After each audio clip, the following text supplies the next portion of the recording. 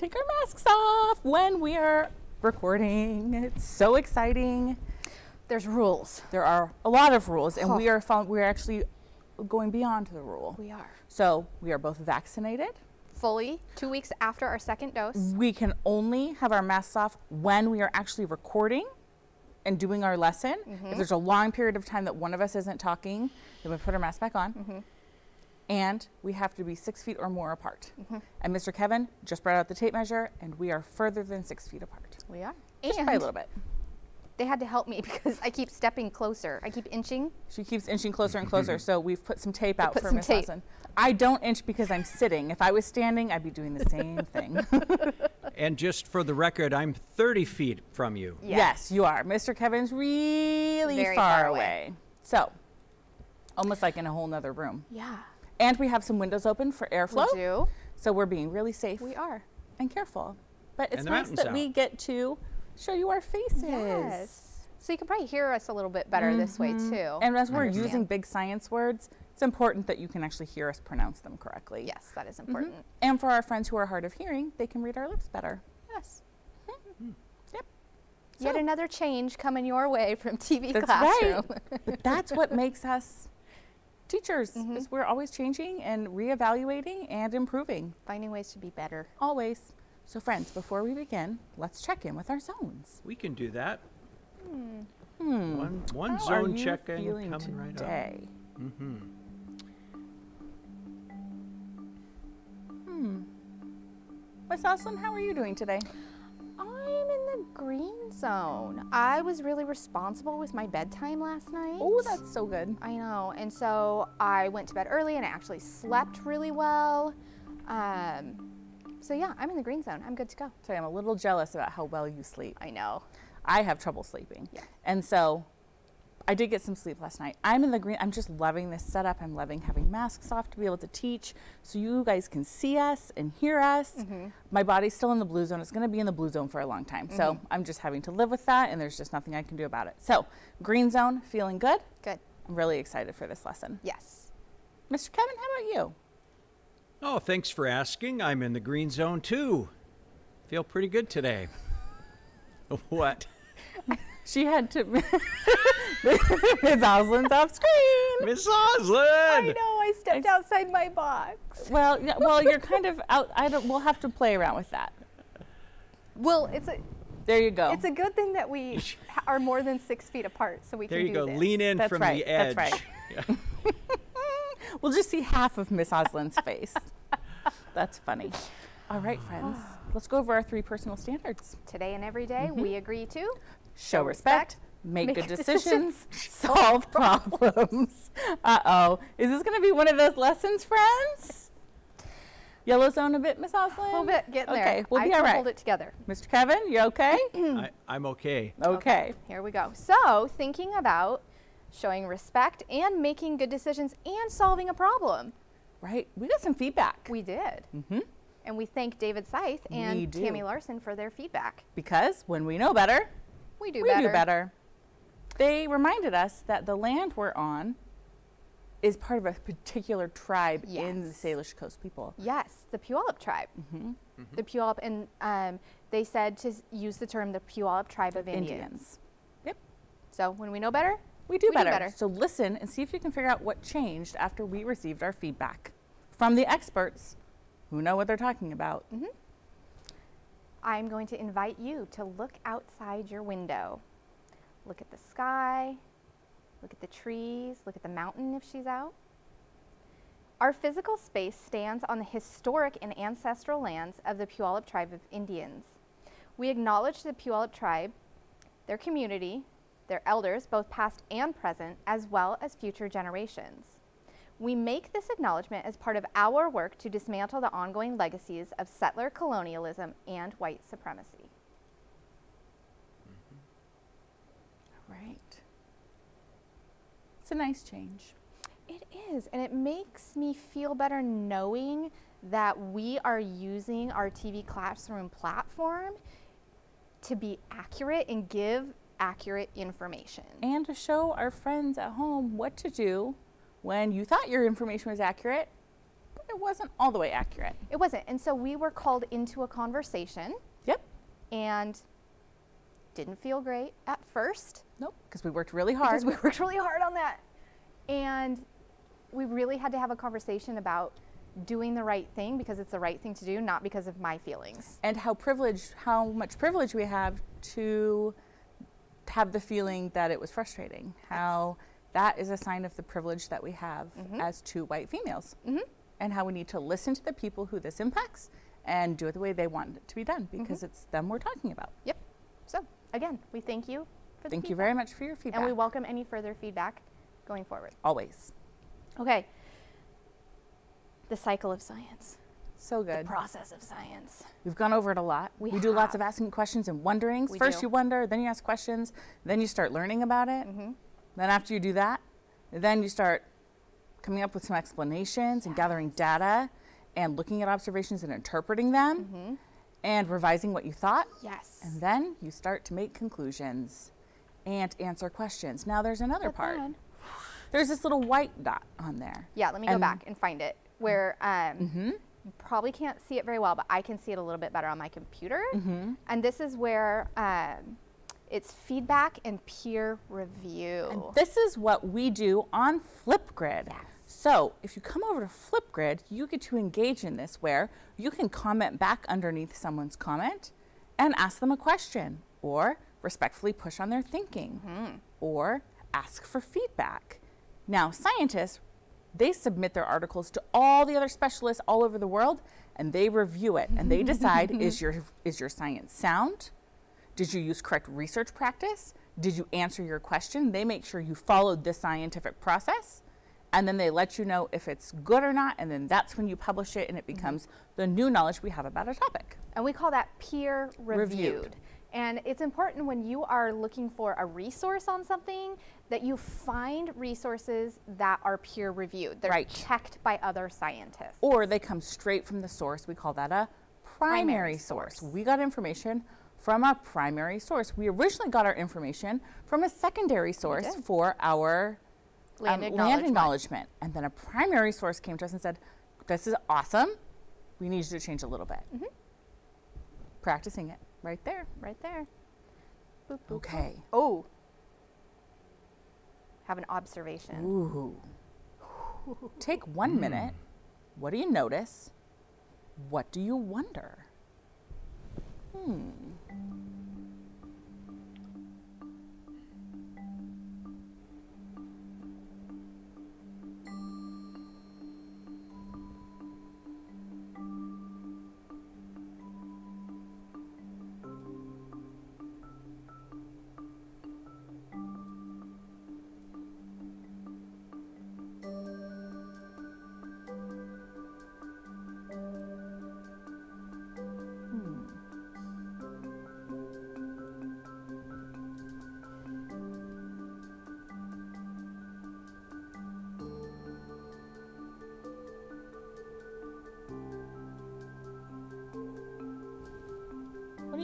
Do you Miss Oslin?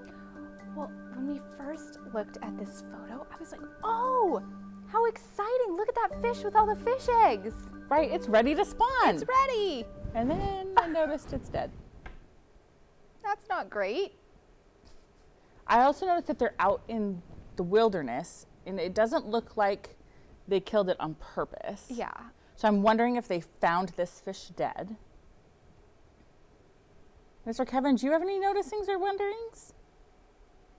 Well, I was thinking the same thing, actually, that they probably found this fish because I don't think, you know, legally you can't catch a fish that's spawning, that's going to spawn, right? Right, you can't catch a female spawning. Like I think there's rules about what fish you can Yeah. catch and when you can catch them. Yes. Right. You can catch, but then you have to release. Right, and then there's a certain point at which like they open the salmon season and you can s- fish in certain places for just a certain mm-hmm. amount of time. And I don't know what the rules and regulations are with the Department of Fish and Wildlife, but there are mm-hmm. rules and regulations Right. for that. Yes.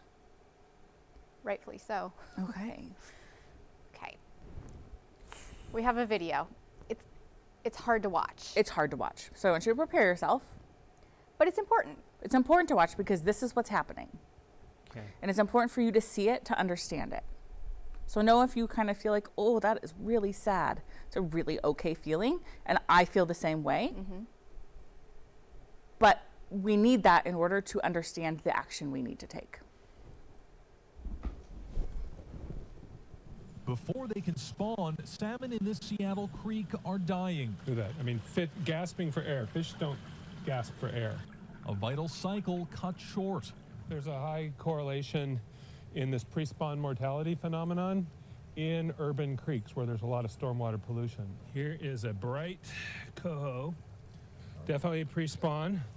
Salmon spend years at sea, then migrate up streams or rivers where they reproduce. But with increased development, more metals, pesticides, and other pollutants are ending up in the runoff from the rain. We at the same rate we're developing more and more of the upper watersheds. So the the worry is that we'll start to see this phenomenon further and further into the watershed and into our most important salmon rivers. So Chum? What do you want to? At this hatchery near the Puget Sound, scientists are exposing salmon to contaminated water to find out exactly what's killing them. They collected runoff from a busy Seattle highway. So we expect all of these fish will be dead by tomorrow, but we may in fact see some mortalities before that, but at the four-hour time point. And that's what happens after a few hours. No. Nah, he's gone. That's gone. To decrease toxicity in the runoff, researchers are also treating the water and testing filtering systems. Well, there's just a bit of mulch on top, but then it's a mix of, I'll let you in, it's a mix of gravel and compost. The result this time more promising. Well, I've been kicking and wanting out badly. An experiment that could help not just salmon in the Pacific Northwest, but fish in other streams and lakes around the country. Robert Bumstead, Associated Press. Hmm. Hmm. What did you notice? What did you wonder? Ms. Oslin? Hmm, that made me sad. I wondered why don't we filter that water? Yeah. If we know that we're having such an impact, Why can't we put a filter where it exits? Mm-hmm. There has to be a reason. or can we do something before the water gets dirty? Right. But we we have to move around, and it's caused by all these cars. And Right. so, what do we? How can? Mm, it's hard. It's hard. Makes me sad though. Yes. And the more people that move here, I feel like the worse it's going to get. Mm-hmm. So, why are salmon important to the Salish Sea? We're going to continue the next couple weeks thinking about how scientists are able to f- solve these problems. Mm-hmm. Like, why can't we filter it? Why can't we do something before the water gets dirty? Or what is making the water dirty? Mm-hmm. And then they're able to solve these problems. And we're going to do some reading of articles and watching of some videos. We're going to be comparing these different types of media or texts to learn. I'm excited. I am too. Okay. Here we go. This is my cue. It's it my is. big moment for our big, science, science word.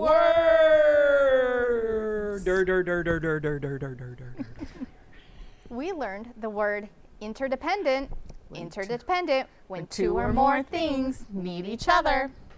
We learned about the intertidal zone. Yeah, that's where the, sh- the um, shore area exposed between high tide and low tide is where all those creatures have to sit and just wait for the water. we learned about a habitat, which is mm-hmm. the natural environment of a plant or animal. it's their home. Mm-hmm. And then we learned about conservation. Ooh. That's the act of keeping and protecting from waste, loss, or destruction. And that has something to do with what we're going to be talking mm-hmm. about. We also learn about migrate. Yes. You know what? I got to see Mr. Wally's grandma and grandpa this last weekend, and I told them that I use them as an example for migrate because they migrate down to Arizona mm-hmm. in the wintertime and back to Seattle, Tacoma area in the springtime, and they thought that was really funny. so that's the act of moving from one region to another. we learned about an ecosystem. We talked a lot about how ecosystem and habitat are very similar, but there are things that are different. And they really work together. They do. Mm-hmm. An ecosystem is a community of living things together with their environment. And then incubate. which is when we were learning about spawning and the migration of salmon. And that's to keep something warm until it's time to hatch. And they spawn in the redd to keep their salmon eggs the perfect temperature until it's time for them to hatch. And it's important to have native plants around where the redd Uh-huh. is, R E D D, so that there's it's not too um, hot from the sun to provide shade. And the water temperature and the water quality also impacts that. So that's what we're going to talk about today. Yes. We're going to do some thinking about Hmm. what I think I know about human impacts on salmon. And what we want to learn more about human impacts on salmon. Go ahead, get out your journal. I'm going to be writing in mine. Track down a few things. Maybe one minute. What do you think? Yeah. Let's do a minute.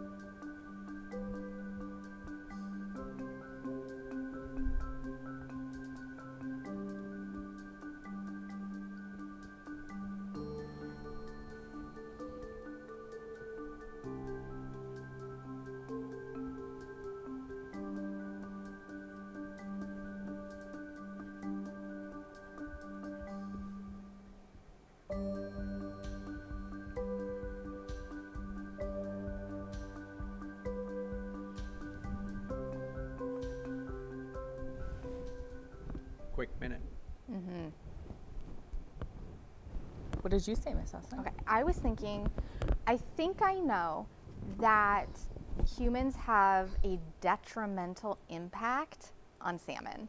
Do you know what I wrote? What? Humans have negatively impacted the salmon in the Salish Sea. You defined detrimental. I sure did. That's so great. Hmm. so then, what did you want to know then? I did another. this is one of those moments where my brain misfired. I did another think I know Oh, that's okay. on my want to know. Okay. But I can add a want to know. I said some people are trying to reverse that impact, and I want to know how. Yeah. Yeah. What about you? I wanted to know how I, as a one per, I am one person, mm-hmm. and maybe I can have some influence over my family, but that's not a lot of people, No, and this is a big problem. and it's a big problem. So it feels like I can't really help. And I think that's what leads to there being more issues because everyone feels like they can't help, so nobody does anything. So I'm just not going to do anything. So what can I do? I guess Right, would what be can my we do question. in Tacoma to help our salmon here in Tacoma? Yes. Hmm. Here we go in the Salish Sea. Okay. Okay. Correct. Which one are we doing first? We're doing the article first. And we're going to do the video after the la- the next Thank you. after Okay. when we're all done. Behind the So scenes. friends, what we're doing is we're just going to read part of this article, just part today and have some conversation around it. And then next week, our first episode of next week, we're going to finish the article and then watch a video about some of the impacts and some some ideas of things we can do. Do you want to zoom in it? Do you want to open it in the actual um, desktop app? yes, And then we that. can zoom into it. Yes. I think that that then friends can see the words and we can zoom in really close. Mm-hmm.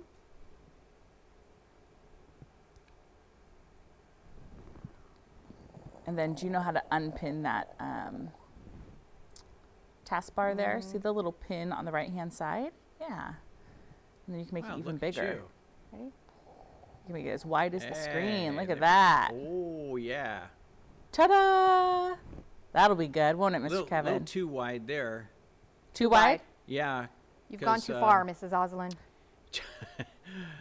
Here, let me Hey. show you what it looks like. So, see, you got some Perfect. words that are cut off just a Okay. hair. Okay, so we're going to out just There a you, little bit. yeah, there oh, you go. perfect. All Good. right. It should say All right. and. And it's a- ubiquitous. yeah, instead of a, because it's a vowel.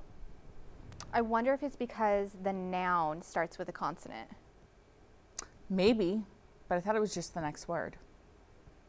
Oh, you know where my mind went is the word hour always gets me because it's half an hour because it starts with a vowel sound. But I say half like if I was going to describe, so it would be an adjective. It would be a half hour, not an half hour. yes, you would say half an hour or a half hour. So, this would be a, a an ubiquitous Yes. tire rubber derived chemical induces acute mortality in coho salmon. hold up. What? right? What is a? How did you say that word? Ubiquitous. Ubiquitous. What does Did I- that mean? Ubiquitous. Did I say it's U with a long U sound? Ubiquitous. That's why they. That's why they don't say an. Because it's you. It's not Because uh, it's you. It's a not ooh. ubiquitous. Yeah. Look at us go. There we go. Mm-hmm. A ubiquitous. Analyzing text. ti- it's so important. A ubiquitous tire rubber. What does ubiquitous mean? Everywhere. Oh, It's a Something tire rubber that's used everywhere. everywhere. Okay, so it's a ubiquitous tire rubber derived chemical. So it's a chemical in the tire rubber. Mm-hmm. it induces, Induces. which means starts, Acute mortality, which means like sudden death. in coho, Coho salmon. salmon. Oh. Mm. It's sad. sad. But this is a huge problem as we've learned the importance all of this mm-hmm. time of the Salish Sea and the salmon. They're dying. Mm-hmm. Like, that's a problem. Mm-hmm. It impacts so many people and so much of our ecosystem and so many of the mammals in our Salish Sea. There's a long list of scientists there who contributed to this paper. Mhm. And it was written the 3rd of December 2020. This was really recent. This was during winter break. Mm-hmm. Oh, yeah. So, really, just recently happened. So, this is a very scientific paper that we together are going to Work work, through. to read over several lessons. so we can understand it so that we can learn what we need to do Thinking come up with a plan for the impacts, the human impacts, on salmon. Whew. Would you like to read or would you like me to read? Uh, you can pick. I, I'll start and then Okay. I'll kind of stop and you can go. Okay. For decades, there has been a mystery plaguing the urban streams of the Puget Sound region near the Salish Sea. Decades. Just stop there in the, the topic sentence. Decades. That means Tens not, of tens of years. It means not just a Yeah. few years. This has been going on for a long time. Something has been creating a dramatic effect on migrating salmon, especially the coho salmon. And then they say its scientific name, and I'm not close enough to be able to to figure that out. I can't quite read it from this far away. on Corkincus, on Corkincus, Kissich We'll have to look that is up. Is my attempt at the, the Latin what do you think, Mr. Kevin? On the Latin of that, oh, I'm sorry, I caught you when you weren't looking at the screen. Let's the see. Latin name of that of coho salmon. Yeah, it's tough for me to read. Yeah. On, encore. Heinkus? Heinkus? Encore Heinken? We'll have to look it up and put it into Yeah, a we'll have to look- pronunciation yeah. software. Coho are born in rivers, We knew that. Mm-hmm. and when they're young, they migrate to the ocean to grow into fat adults. We know that We too. knew that. They spend much of their lives in the ocean growing and becoming strong. And then, when rainwaters swell rivers in the Pacific Northwest, they begin to migrate back to the fresh water to spawn in the creeks of their births. We knew that too. We knew that. It's a lot of work. Mm-hmm. We knew that. We've learned that. Mm-hmm. And this journey is made more difficult in the Puget Sound. So they already have something hard to do. Yes. And something in the Puget Sound is making it More even more difficult. Mm-hmm. The salmon are entering the rivers filled with lots of runoff from urban stormwater. The water that runs over the roads and into the storm drains that drain into the creeks. I'm going to So- stop there. I was just going to say the authors defined what urban storm drain is for us, or urban storm water. Right. It's part of the next sentence. So stop there. Have a moment to think. What have we confirmed about our knowledge so far about mm-hmm. salmon? And what is the issue that they're talking about? Take one minute maybe jot down a few things that we've read. Go back and look and see if you can figure out what have you confirmed that you thought you know and what are we talking about? Because sometimes when you get this far and you don't know, you have to stop and go back. Yeah. Okay, one minute of think time. Ready? Go.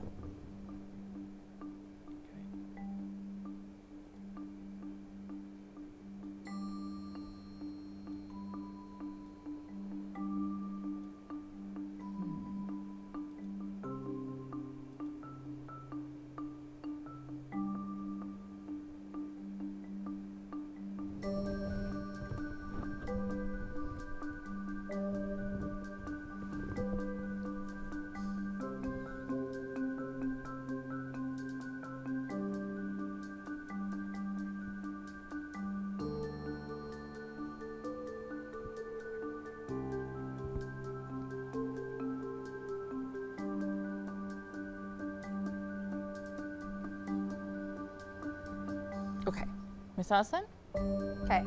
So this did a lot of confirming for me about the life cycle of a salmon. Yes, me too.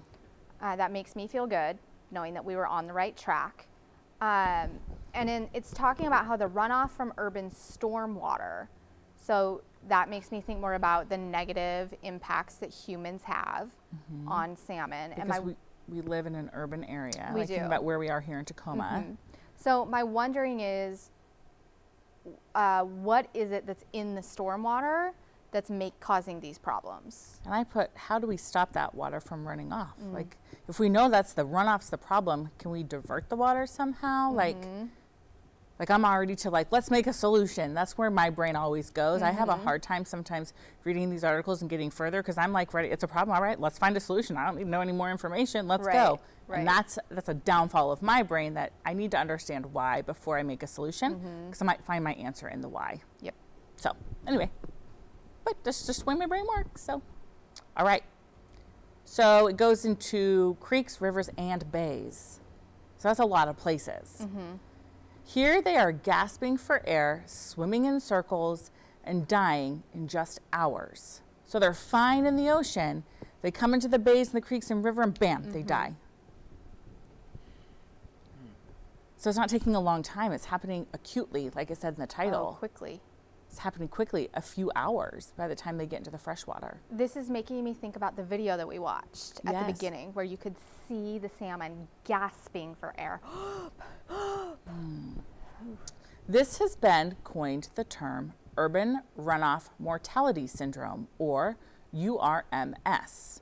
Now, something to note, they've defined for us what URMS is. Mm-hmm. It is urban runoff mortality syndrome. You need to remember that because from now on in this article, mm-hmm. they're going to refer to it as URMS to make it easier for them to write and more succinct, which mm-hmm. means when you see URMS, you need to remember that that means urban runoff mortality syndrome. It means the salmon are dying when they enter the streams. I have a personal connection as a writer. You do, okay. I do. So when I was writing a couple years ago for my national board certification, they give you a limit. You can only have right. so many pages, but they have a lot of criteria or questions that you have to answer. So you have to be able to answer them using as few characters as you can. So we often, mm-hmm. and so we could use acronyms like. URMS. That's an acronym that's shortening it using the beginning letter. But you have to define it first. You cannot, Just like they did. just like they did. You cannot make assumptions that someone's reading your paper, even if they're a scientist, even if they're in education, like I am, that they know what you're talking about. That's right. So be clear, define it, but then continue to use the acronym. And they've done that here. They've mm-hmm. defined it for us and then given us the acronym. So mm-hmm. now we see that acronym, you're going to see it here in a minute. You know what it means. Mm-hmm. Between 40 to 90% of the returning salmon are dying from URMS. In about 40% of land in the Puget Sound region. I'm going to read that again. oh, Ms. Austin, you have a like shocked look on your face. Mm -hmm, because I think I understand what it's saying. Okay, I'm going to read it one more Yeah. time. So it says between 40 to 90% of the returning salmon are dying from URMS in about 40% of the land in the Puget Sound region. So they're saying in the Puget Sound region, if we take 40% of the streams and rivers, in that 40%, 40 to 90% of those salmon are dying when they enter. We, the, there's a word for that disproportionate. Yes. Because you would think if it was 40% of the rivers, then 40% of the salmon. Oh, no, I think it's saying 40 to 90% of the returning salmon die in a smaller area. Is, are they saying 40 to 90% of the entire population of salmon, or are they saying 40 to 90% of the salmon that return to that 40%? I think 40 to 90% of the salmon that return to that 40%. Okay. So it's disproportionate because Yeah. that's a lot of salmon. Dying in just a In sm- just small a space. small- And then other salmon that return to other places are not having this impact. Yes. I Or that's my understanding. I wonder if they've tracked which salmon. I, was, mm, I have lots Mm-hmm. of questions. The scientists in this study asked, why is this happening? They started with a question. Why is this happening? And even more importantly, what is the chemical killing the salmon? Finally, they solved it. Oh. We're There's gonna an do answer that. to this mystery. We're going to do that teacher move. We are. That makes students go, no! We're not reading any more today, friends. Not today. You'll have to come back next week. Mm-hmm. But let's talk about what we've just read. Yeah. I'm still curious. I'm still not sure I'm clear on if, because of the way they wrote the sentence. Right. If it's 40 to 90% of the returning population salmon to the Pacific Northwest, or is it 40 to 90% of the population that only returns to those streams? oh. Do you see what I'm saying? Of the returning salmon. Hmm. So it says Yes. of the returning salmon. So I think it's of the whole population. I think so too. Because it's saying 40 to 90% of the returning salmon die from URMS and about 40% of the land. That's what made me think that it was disproportionate. So I think you're right. I think it's the whole population. We're losing 40 to 90% of it in 40% of our streams and rivers. That's Yes. really scary. that That's a huge issue. It's a huge. huge issue. 90%, that means if there are 100 salmon, 10 live. Friends. Kind of reminds me of that game that you played the Yes. other day. Uh, yeah, that's not enough to feed our orcas. That's not enough. I mean, that's even going out, but coming in, that's not enough to have enough spawning salmon to spawn enough young to then come out and become more food for the salmon. It's not enough. We won't be able to continue the life cycle. It will die out at that rate. I had a question. Mm-hmm. This article is specific to coho. Ooh, what about What- other salmon? What about other salmon? Is it because other salmon aren't returning to these places? this for is it is it the only places that coho salmon go? Because it does it does it say coho salmon or does it say salmon? It's coho. It But says it says- especially the coho. Right, but it says 40 to 90% of the returning salmon. Is it the coho salmon or is it all returning salmon? See, I have questions. So my question is, is there something specific about the genetics of the coho salmon? Hmm. Or like we said, is it because this is only where coho salmon go? That's a good question. So, what should our friends do on TikTok this week? On Flipgrid? I meant on Flipgrid. I said TikTok. I'm sorry, friends. Mrs. Wally's brain. I'm telling you. it's kind of like TikTok. You film a little one minute video, tell us what you think. But it's not. It's Flipgrid. Sorry, You could, friends. yeah, you could do that on. You could make it like a TikTok video on Flipgrid. yeah, you totally could. Make a little salmon dance about Mm-hmm. how what's happening. You're thinking, oops, and now That's, I'm in the. that's a pretty cool little uh, graphic you got going there, Mrs. Oslin. She's gonna fix it. She knows what to do. I know what to do Look at now. Watch, here it comes. Dun dun dun. Bada boom, bada bing. On Flipgrid. That was my problem. I didn't have the graphic to remind me, and I said TikTok.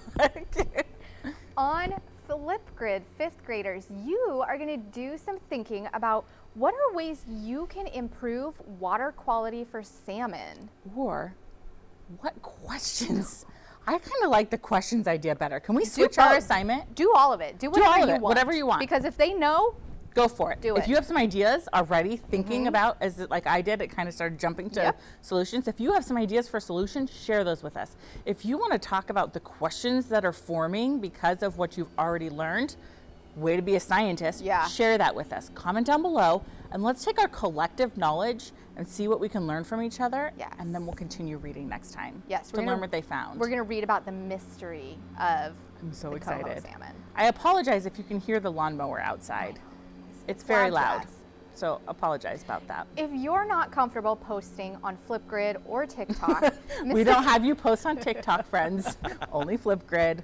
Mr. Kevin is going to tell you two other ways that you can share us your thinking. Mm-hmm.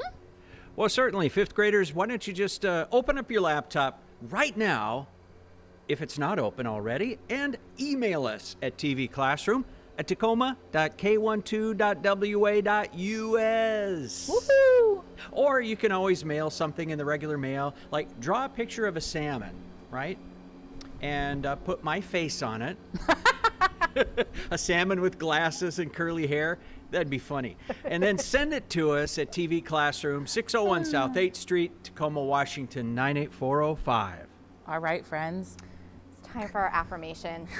This was I think I have a good one. okay. I'm excited. So we saw some graphic images that Could have were been disturbing, uncomfortable. could have been uncomfortable, disturbing.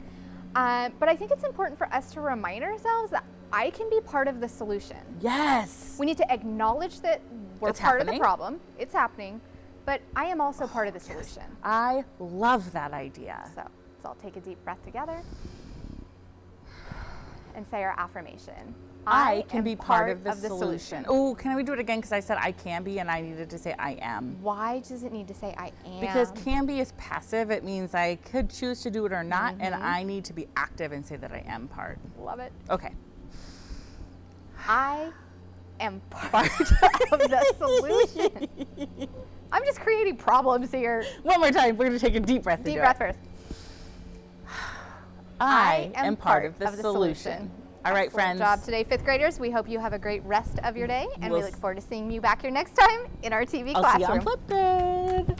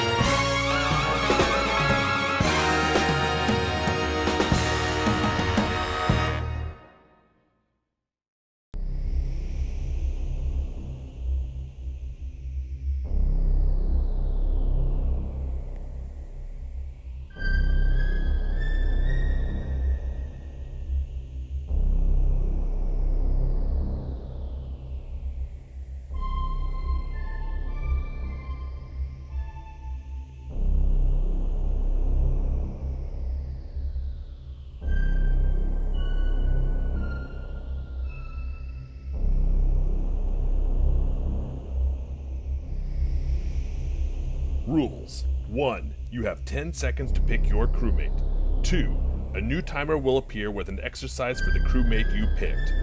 3. You will get points for each correct crewmate and exercise you choose. 4. If you pick the imposter, you will lose all your points. 5. Use your math skills to see how many points you can get. Good luck.